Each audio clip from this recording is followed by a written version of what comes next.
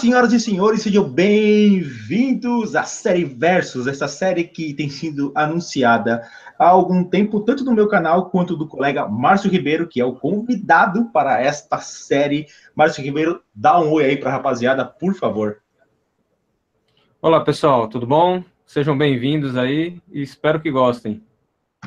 Esperamos mesmo que vocês gostem, porque, pessoal, tá, vai, ser, vai ser muito, muito, muito bacana. E como foi anunciado, uma pequena explicação do que, que a gente vai fazer aqui. A série Versus, ela vai colocar duas tecnologias em embate. Mas como assim? Qual que é o objetivo dessa brincadeira? Duas tecnologias que te levam ao mesmo lugar, atingem o mesmo objetivo, mas cada um com as suas, cada qual com as suas técnicas, cada qual com as suas ferramentas. E o assunto da vez agora é web scraping, ou seja, extração de dados de websites, utilizando, obviamente, o VBA, que é do que a gente fala tanto no meu canal quanto no canal do Márcio. E como a, e a gente gosta muito de falar disso nos nossos canais, mas cada um com a sua preferência. No caso do Márcio, ele gosta muito de fazer o web scraping utilizando o IE Controls, que é a biblioteca do Internet Explorer, que já está instalado no Windows, tudo bonitinho, e você faz uso de VBA para manipular a, os elementos da página. Isso aí o Márcio vai destruir aí, vai com certeza dar uma explicação muito melhor do que eu posso dar. E eu faço isso usando o Selenium, que também vou dar uma, uma explicação muito básica aqui do que, que, ele é. As duas fazem a mesma coisa, só que usa utilizando caminhos diferentes. E o que a gente vai fazer aqui é colocar as duas em embate, por isso que essa série se chama Versus, e realmente vai ser um combate amistoso, mas vai ser um combate.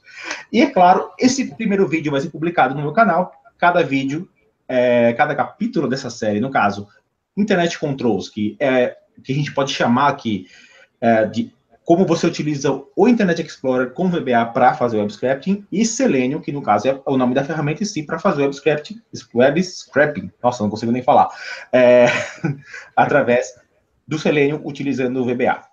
É, como esse vídeo está no meu canal, eu vou dar a palavra para o convidado, para que ele possa nos ensinar. E o objetivo de hoje é fazer o setup inicial, ou seja, como eu começo do zero até conseguir fazer uma página ser aberta para eu começar a manipular. A gente não vai manipular ainda, a gente só vai abrir a página que é para mostrar para vocês como é que você começa a trabalhar com cada uma, cada uma das bibliotecas, cada uma das ferramentas. Márcio, é a tua vez. Mostra porque você veio, porque senão eu vou acabar com você. Acho que hoje não vai ser, não, então.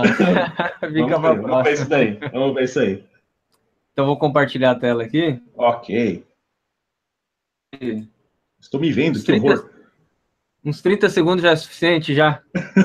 Quero só ver. Vai ser fácil. já tá vendo, já? Já, já estou vendo sua tela. Beleza, vou ocultar essa barrinha aqui. Então, hum. já estou aqui, ó, Excel, VBA, né? Então, acho que tranquilo, né, pessoal? Excel, vem aqui em Guia Desenvolvedor, Visual Basic. Estamos no VBA. Fazer o setup, ferramentas, referências. Vou selecionar aqui, ó, Microsoft Internet Controls aqui, ó. Selecionei a biblioteca. Setup tá muito simples, né? Agora vamos abrir uma página. Então vou colocar sub abrir página aqui. Sobre abrir página, o que será que essa função faz, né? então, vou colocar aqui, ó, DIN IES Internet Internet Explorer. Vou colocar aqui é, né, para facilitar, então tudo que eu colocar aqui dentro ele se corresponde ao IE, end with e aqui agora vamos utilizar aqui, ó, ponto visible, primeiro para deixar o navegador visível. Se você não quiser deixar ele visível, você não utiliza essa propriedade. Uhum. E aí eu vou deixar como true. Por padrão, ele já vem como visible igual a false. Então, se você não colocar nada, ele vai estar tá, vai tá oculto. Se você precisar deixar ele visible, visível, ponto visible igual a true. Ponto navigate. Vou colocar aqui, ó, www.mastermr.com www.ecoagro.com.br. E agora vamos apertar o F5. Opa.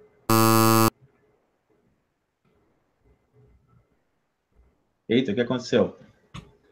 Eu tenho que primeiro setar ele aqui também. Set e é igual é, new Internet Explorer. Só tinha declarado a variável IE, tá. que ele está recebendo Vou te perdoar. Internet Explorer, o tipo, o tipo Internet Explorer, e agora eu vou instanciar. Então, estou jogando é, essa variável do tipo Internet Explorer, eu estou criando uma nova instância dela, jogando nessa variável, e aí de, dessa variável eu estou colocando como visível e mandando navegar no site mastermr.com.br.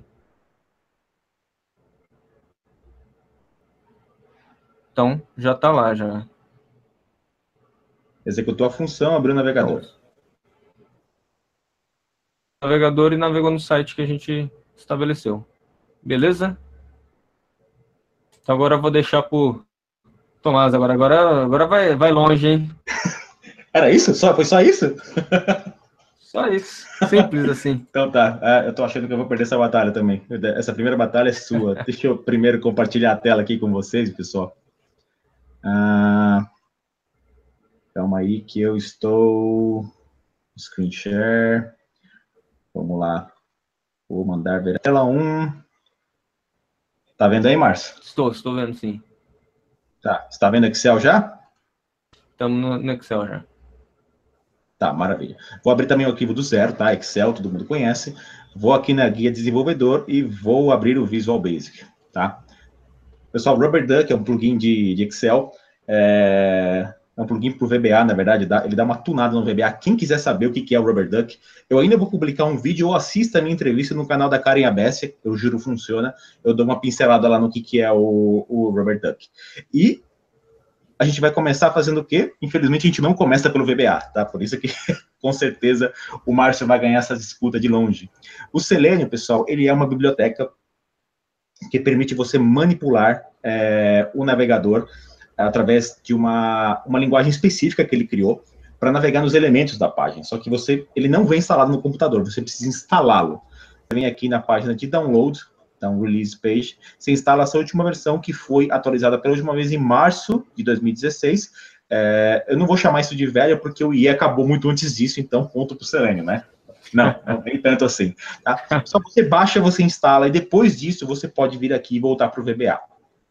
Seguindo a mesma é, filosofia do Márcio, eu vou inserir um módulo completamente do zero, tá? Eu vou ser bem educado, vou também colocar um option explicit aqui, senão o pessoal vai me matar tá? Seguir as boas práticas de programação. E antes de mais nada, eu preciso também fazer uma referência, tá? Referências, abriu a tela de referências, eu vou clicar em S para ir até lá embaixo, e eu vou procurar por um cara chamado Selenium Type Library. Ele tem que estar instalado aqui, ó, nessa, nessa localidade. Aqui, no caso, está o meu nome, porque é o nome de usuário do meu computador, e o resto vai ser praticamente tudo igual. E eu vou selecionar esse cara e é tudo que eu preciso para começar a usar o Selenium. E eu vou ser bem criativo, eu vou criar uma função abre página. Certo? O que, que eu vou Você precisar? Pula a parte de Tomás. Oi? A instalação, a instalação Ah, e, tá. Ah, e a tá atualização aqui. do driver, Não, então, aí que está uma vantagem. Aí que está calma que a gente vai chegar lá. fazendo É. gol de mão, hein? Ficou de mão.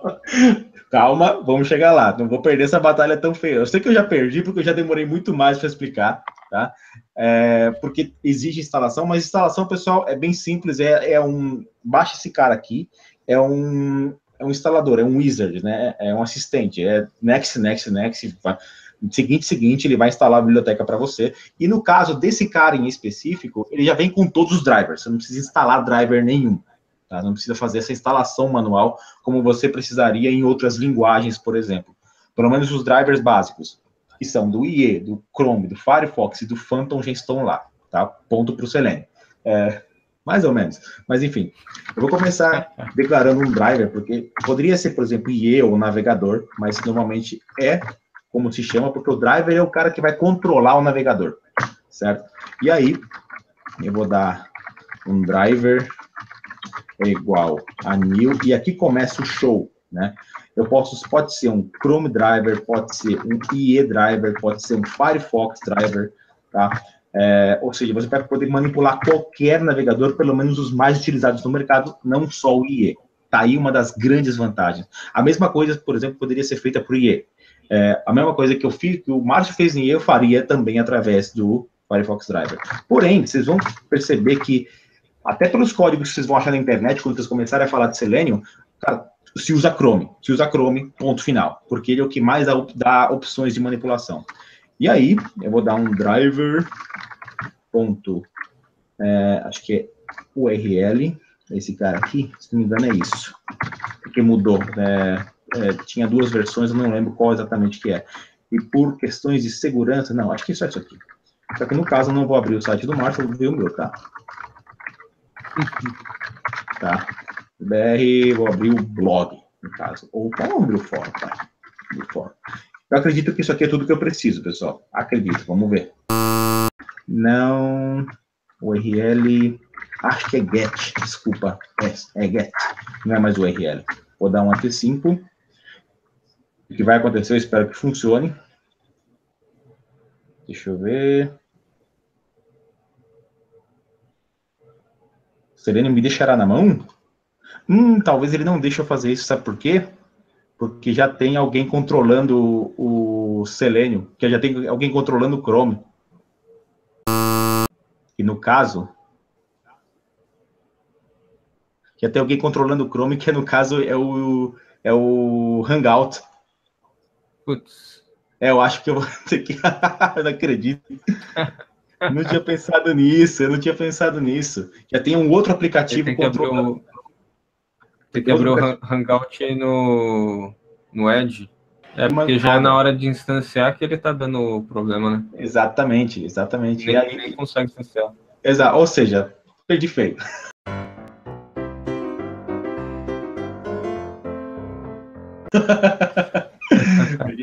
o código, pessoal, o código é exatamente esse. Se vocês estiverem é, fazendo, no caso, o, qualquer, o, essa brincadeira para você fazer acesso ao, a qualquer página, vai funcionar com esse código que está aqui, tá? É exatamente esse o código. No caso, ele está falhando porque o, já tem um aplicativo controlando aqui o Hangouts, que é por onde a gente está gravando aqui esse vídeo, que está aqui maluco, inclusive, é, e ele não está permitindo que outro aplicativo o controle. Tá? Então, no caso, ainda assim eu demorei um século, né? Um século para conseguir chegar ao mesmo resultado do Márcio, e aí isso, obviamente, vou interromper o compartilhamento da tela aqui, configura uma vitória de lavada do IE, pelo menos nesse primeiro capítulo. tá? é, pessoal, é, sem, sem, dúvida alguma, é, sem dúvida alguma, o IE tira de letra pelo menos a simplicidade. Agora explica para nós por que que, Márcio, por que que é mais vantagem usar o IE em relação ao Selenium, já que você ganhou, você é o grande vitorioso da, da, do dia, da noite, enfim, não importa a hora que a gente está gravando isso daqui. O pessoal está vendo aqui na minha tela, 8h45. Tanto faz. É, por que, o IE, é, é, nesse caso, ele deu uma lavada no, no, no Selenium, mesmo, mesmo o Selenium podendo usar vários navegadores e por aí vai. Então, é, eu acho que Primeiro, é porque você tem a facilidade, né? Então, você simplesmente você pode adicionar só uma referência. Nem adicionar referência, você pode usar o Create Object para criar um uma instância do Internet Explorer, mesmo sem ter a referência adicionada, né? Então, é muito simples para você utilizar, né? É, logicamente, que qualquer uma das duas tecnologias tem vantagens e desvantagens, né? Então, é, vou falar vou falar só das vantagens aqui do IE nesse primeiro momento, né? A vantagem da simplicidade, a vantagem que você não precisa se preocupar com atualizações, então é, que o Internet Explorer nem tem mais atualizações, né? Mas aí você não precisa se preocupar com atualizações. Então você já coloca lá, já põe seu código para rodar e de boa. É, um outro ponto também é que, muitas vezes, dependendo da empresa, tem empresas que você não é administrador da máquina, então você tem o um perfil, é, uma conta comum do Windows, né? Então, quando você tem uma conta comum do Windows, o que, que acontece? Você não consegue instalar programa nenhum. Então, usando Internet Control, você não precisa instalar nada. Então, a vantagem dele é essa simplicidade. É, ou seja, algumas perguntas aqui que é, acho que vai ser interessante para todo mundo. Se você não tiver privilégios administrativos na máquina, esse código que você criou aí vai funcionar? Roda normalmente. Você não precisa de privilégios administrativos do computador. Você ah, simplesmente pergunta. vai lá, digita seu código. É, cara, isso é excelente, isso é maravilhoso, porque você não precisa instalar coisa alguma. É, agora, outra pergunta. Se, é, se, se não tiver o IE, por exemplo, o Windows 10, tiver só o Edge, vai funcionar do mesmo jeito?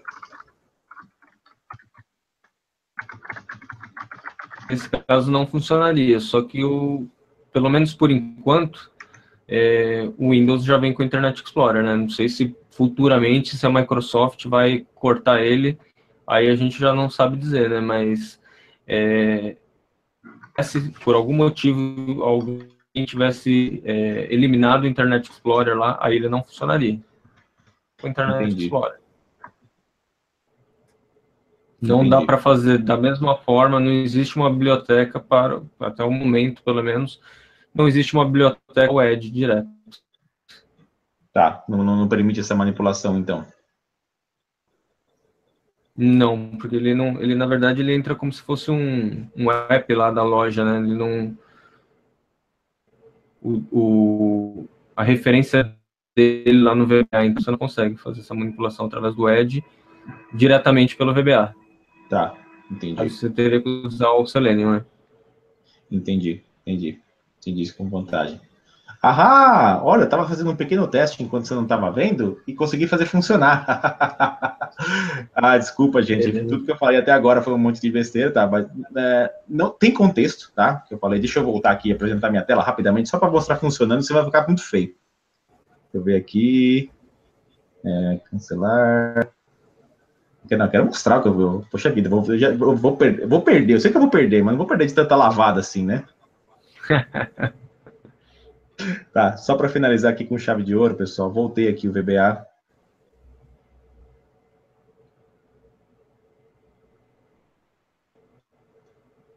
Tá vendo, Márcio?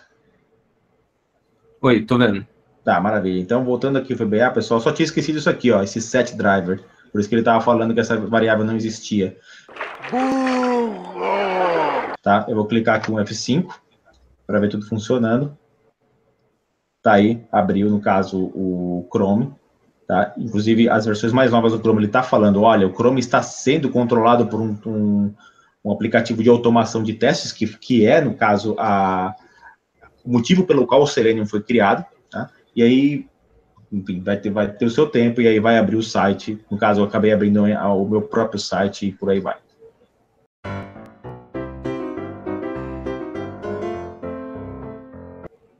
O mesmo aconteceria se fosse um, um Firefox WebDriver ou eDriver. Deixa eu até fazer um teste aqui, vamos ver se o funcionar. Eu não sei se vai funcionar, tá, pessoal? Eu não atualizei os drivers, que tá aí, configura uma desvantagem, tá vendo? Vamos embora. Configura uma desvantagem do, do, do Selenium, que no caso você tem que manualmente é, manter os drivers atualizados para cada navegador que você quiser manipular. Isso configura-se uma desvantagem, principalmente se você fazer, se você for criar um aplicativo que você quer distribuir, que você quer vender, por exemplo. Ou o Firefox funcionou, aí, beleza. Uhum. Vamos ver, mas não abriu o site. Isso configuraria uma falha. Mas enfim, vocês viram aí, pessoal, ponto pro. Deixa eu interromper aqui no componente de tela. Eu tenho que ser justo com o convidado tá? Vitória do Márcio Ribeiro com IA Controls, mas isso não vai ficar assim. não vai ficar assim. Não vai ficar assim. Essa é só a primeira, a primeira, o primeiro capítulo da Batalha do IA versus Selenium. É, pessoal, tem muito mais para a gente falar sobre isso nessa série que eu espero que vocês estejam gostando. É, é um negócio que a gente está curtindo demais de fazer. A gente está falando disso já há muito, muito, muito tempo. Desde que eu dei entrevista no seu canal, se não me engano, a gente começou a falar sobre isso. A ideia surgiu e eu acho que ainda vai dar muito fruto, não só aqui nessa série, como conteúdos que a gente pretende publicar para toda a internet, né? Que vocês façam uso fruto. Márcio, últimas palavras de vencedor? Yes! Valeu, muito obrigado. Próxima a gente.